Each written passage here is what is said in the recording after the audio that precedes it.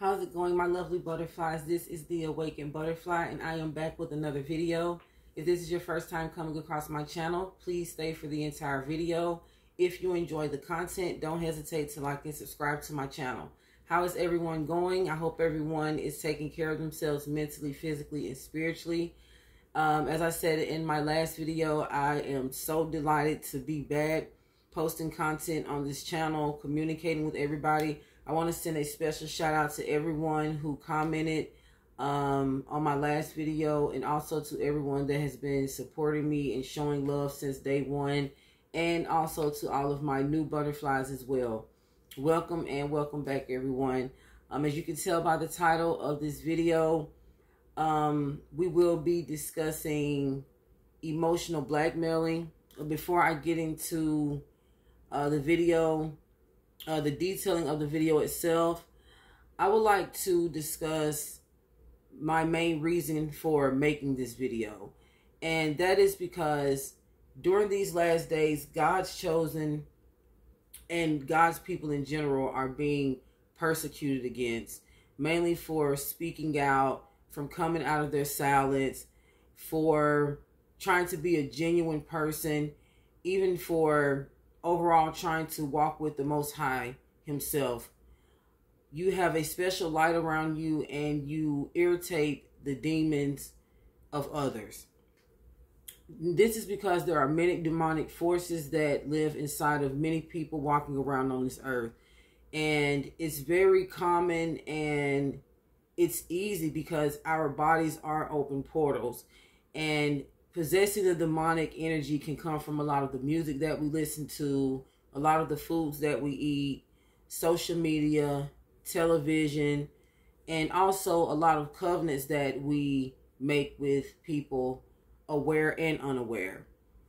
Awareness meaning that you can make a covenant with someone through witchcraft, through joining different occultic groups and organizations, or you can also make covenants with people unknowingly when you get in relationships with people or just have a relationship with a family member or a friend.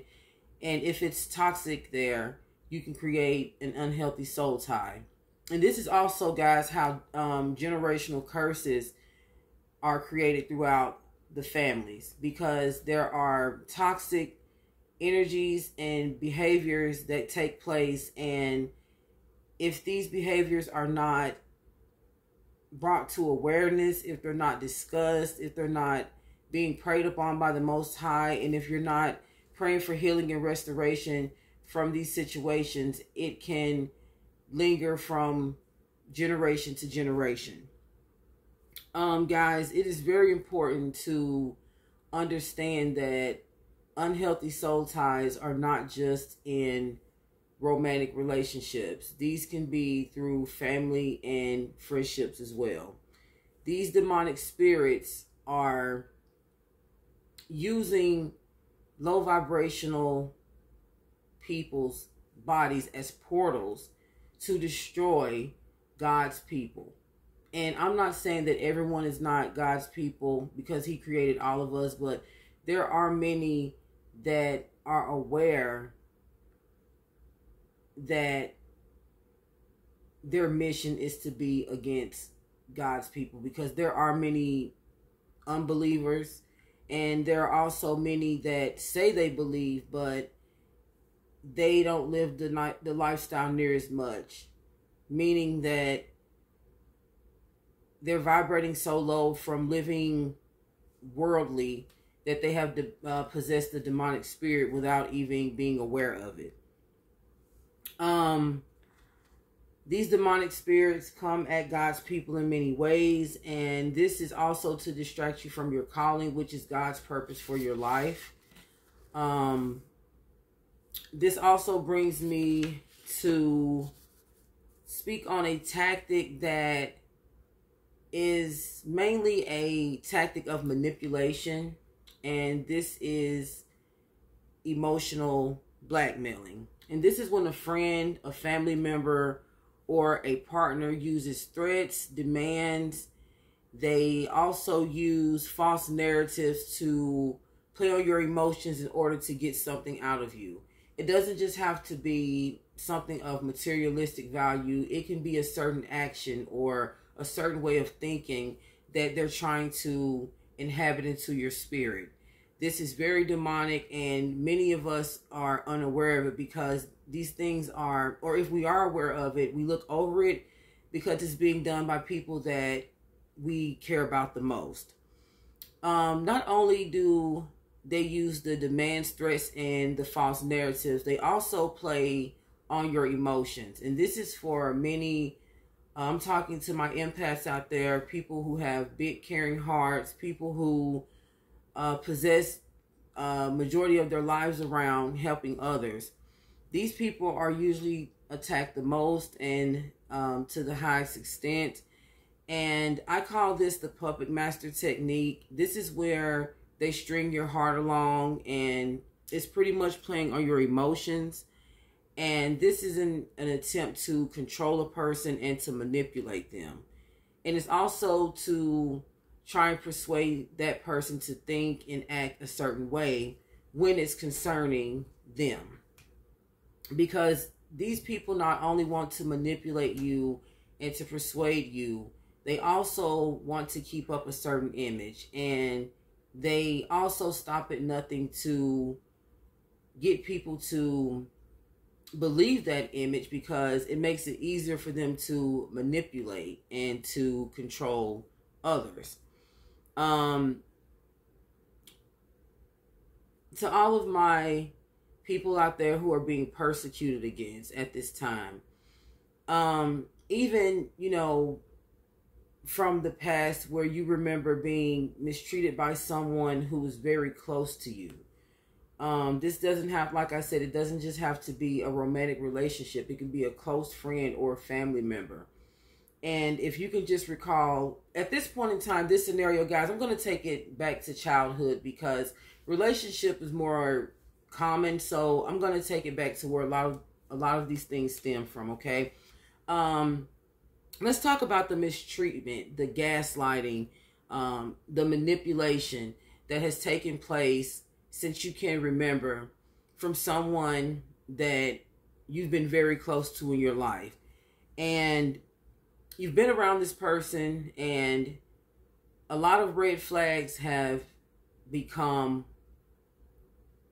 uh, presented. They've presented themselves. A lot of red flags have presented themselves the Most High has most certainly given you the wisdom and discernment, um, but you refuse to recognize the sarcasm, um, the gossip, the insults, the slandering of your name, the rumors, um, even being set up in uncompromising situations in an attempt to get you to lose your cool.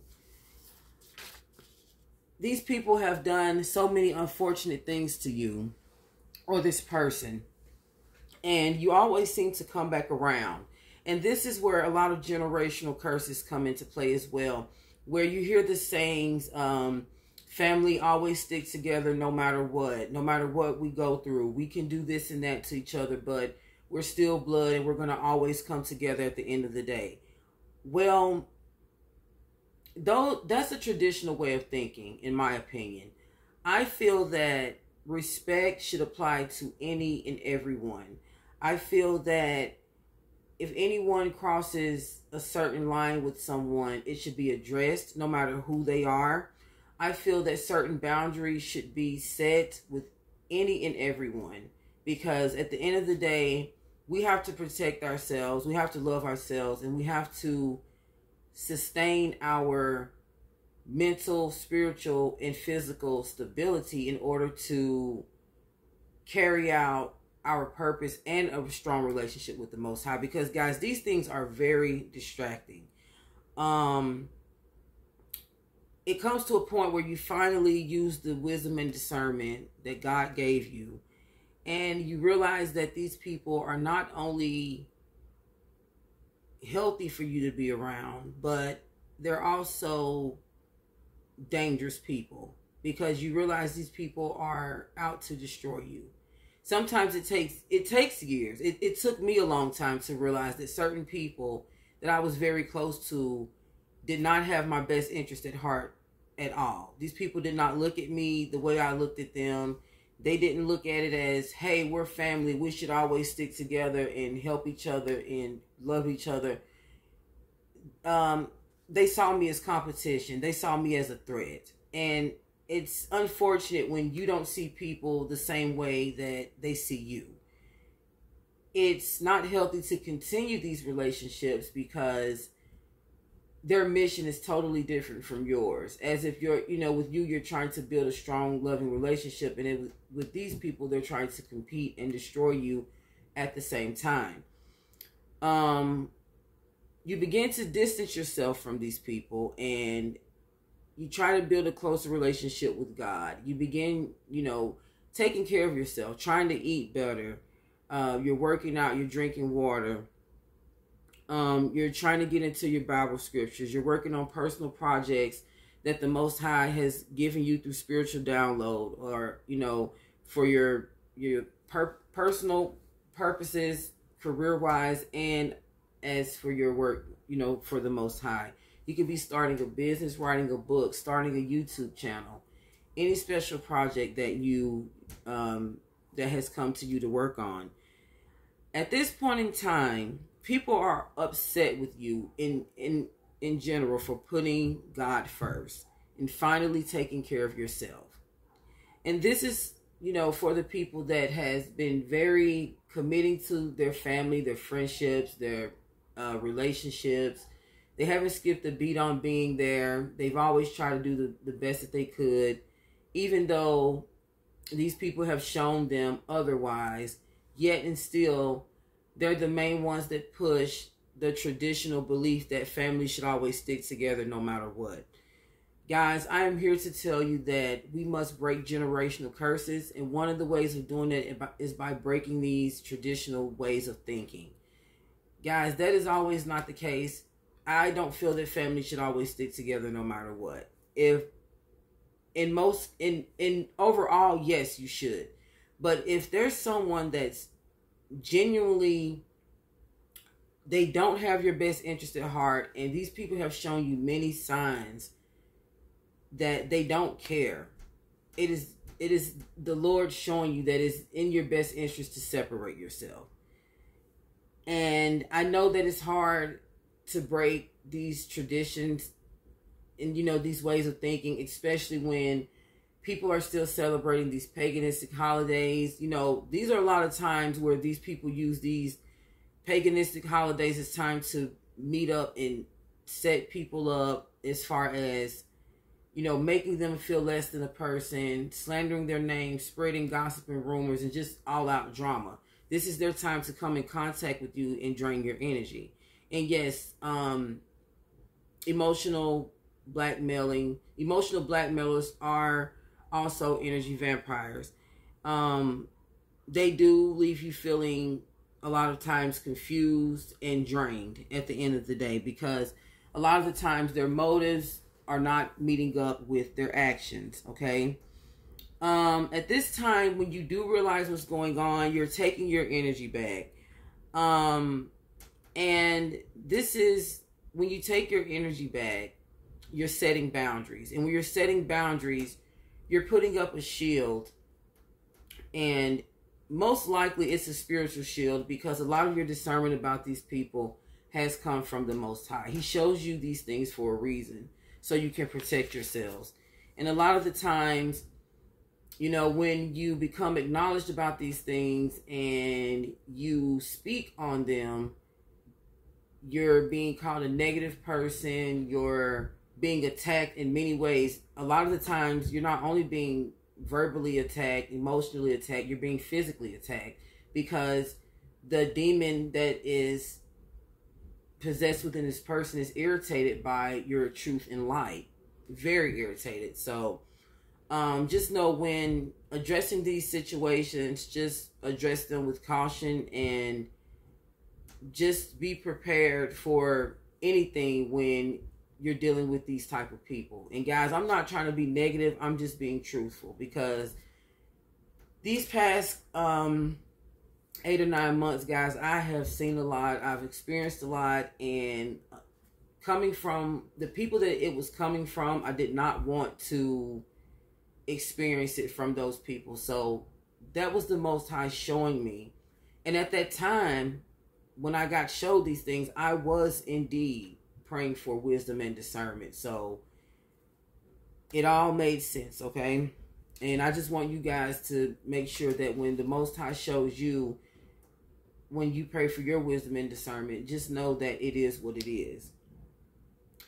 Okay, guys, I'm going to discuss some tactics uh, with that are used by um, emotional blackmailers, and this is one that I feel that many of God's chosen can relate to, especially in empathic people, and this is guilt tripping. And this is where someone makes you feel guilty for no apparent reason, okay? Uh, accusing you, one way to be accusing you of something that you did not do you have no idea why this person is accusing you of what they're accusing you of. It can be anything. Um, it's all an attempt to leave you feeling drained and confused, and you're using all of your time now trying to focus on why this person feels this way. You know, where did they get this information from? Why are they thinking this way? It's not true that you cannot focus on your task at hand you know um, it distracts you from god it distracts you from your purpose it distracts you from your goals it distracts you from everything from your self-care from even caring for other people. It's just an overall total distraction mentally physically and spiritually. Um they leave you feeling confused for a reason and like i said once your energy is drained these people now have control over your emotions. Um and this is also to see how far you will go to prove yourselves to them. Um, there's an underlying jealousy and envy with these people, and they want a piece of you. And this is one of their ways of getting a piece of you. And it's like stringing your heart along like a puppet. It's the puppet master technique. They want to see how far you'll go to prove your innocence with them. They want to see you nervous and in shambles and suffering from anxiety and depression and can't sleep at night, worried about how they feel. And the sad thing about it, guys, this usually comes from people that you care about the most because they know that they're the ones that can usually get to you. Um, they may slander your name, you know, spread false rumors about you. And this can be from past or present environment. And what I mean by that is let's say for instance um, going back to that past scenario i was talking about earlier. You're dealing with someone close to you. You've always tried to be there for them they've shown you plenty red flags and you've ignored them you finally said you know what? I'm going to use the sense that god gave me the discernment the wisdom and i'm going to go ahead and distance myself so i can protect myself and my energy. Well this angers them severely because now you're no longer accessible or available. They can no longer harvest your energy. Um, this is when you've cut contact. You've got you've either gotten your number changed or you've changed locations. You've moved. Um, they can no longer distract you from your purpose at this point. Okay. Um, they can also not plan, uh, plot physical plan. Uh, uh, I'm sorry, any plans to physically destroy you at this time because you're not accessible. Um, a lot of the times, there are some that may try and you know do witchcraft because that's the only way that they can get to you. I must say, strong prayer, especially Psalms 91. I tell everyone about that. Strong protection prayers, um, not opening up any unnecessary portals, especially not um, any type of divination with witchcraft, tarot cards, crystals, anything like that. I have some videos coming on those things as well, guys. So stay tuned. Um, certain music that we listen to, a lot of secular music has a lot of uh, negative frequencies. It's just, it's just a lot of things, and you know we're not perfect, so it's always easy to open a portal sometimes without even knowing. So, uh, prayer protection is very um, much needed when dealing with these type of situations. Um, there's nothing wrong with helping anyone, and you should always help someone. But um, this brings me to um, my second um, tactic used by blackmailer, and that is obligation. Um, this is when someone close to you makes you feel guilty when you're not always available. Um, this is one of the strongest forms of emotional blackmailing. Um, controlling your emotions by making you feel a sense of guilt, making you feel like you're being disloyal if you're not constantly available when they need you. Um, they may say things like, It's okay, I'll find someone else to help me since you're always busy. Uh, things like that. Um, they may even use sad facial expressions. And, and let me say this I'm speaking on the situations where you know you've always been there and you've usually put yourself on the back burner majority of your life for these people. And not only are you being there for them, but you're accepting their mistreatment um, in return. They're being very, you know, inappreciative of your time and, you know, everything that you're putting into them. And when you finally take some time out for yourself, they guilt trip you. Um, guys, I, I just want everyone out there to know that there comes a time where that voice in the back of your head will start to show through your actions. And meaning you will start to listen to it and you will start to act in accordingly. Like I said before, when we love people, we do ignore signs. I want you to know that we must know the difference between doing what's right and being distracted from our purpose. Know that you can do all you can when you can, and also know when it's time for you to put time in for the Most High and for yourself. Because that's how you recharge. That's how you stay spiritually, mentally, and physically recharged so you can um, deal with other people. Um, very, you know, very empathic people pretty much people with the with a strong sense of the Holy Spirit um, are empaths. That's pretty much what that is. Um, sometimes our heart can lead us astray if we don't keep a healthy balance. So just always remember, guys, you know, keep a healthy balance and you know, never let someone take advantage of you, no matter who it is. And another tactic that is also used, and this is this is this one is one that I feel is also used a lot amongst um, the one of obligation, and this one is fear.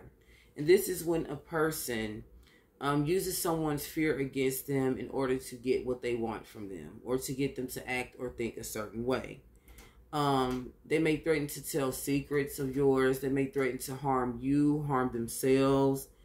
Um, they may threaten to take away something from you. Um, it could be something of materialistic value, or it could be something maybe such as a promise, maybe to stay committed um, in a relationship with you, whether it be romantic or non. You know, this can be family or friends as well. You know, just a promise to always be true, to always be a loyal person, and they take it away. And this is why I was saying to always be careful who you make a covenant with, knowingly and unknowingly, because these type of things as well, um, when they hold promises and commitments over your head, is stringing your heart along, and it's also creating a negative soul tie. Um, fear is also used to implant uncertainty. And the uncertainty makes it hard for you to use your discernment with the Most High. See, it's all to confuse you. That's how you can tell that you can sense the demonic spirit in all of these tactics. It's all to confuse you, to drain you, and to distract you. Okay. Um. Some ways that you can deal with the emotional blackmailing, and number one, always pray for your you know your protection when dealing with these situations. Number two, set your boundaries. You know, um, stand strong in letting this these this person or people know what you're willing to accept and what you're willing not to accept. Whether it's family, friends, uh, your partner, no matter who it is, even people at work. um, set your boundaries. Let them know, you know, what you're not willing to put up with. And when setting these healthy boundaries, it also helps you with your discernment. And it also helps you with not feeling confused, is wondering if you made the right decision, if you're being too hard on the person. No, it is what it is. Um, if these people are showing you signs that they're disloyal and that they don't have your best interest at heart, then that's most certainly what it is. Guys, we're living in the last days, the last times, to the point to where a lot of the prophetic um, scriptures in the Bible are most, most certainly being played out today. You're most certainly seeing these things. Um, I would like to read this verse um, about manipulation. It's it's it's a Bible scripture in reference to manipulation. Second Timothy chapter three verses one through five. This know also that in the last days perilous times shall come.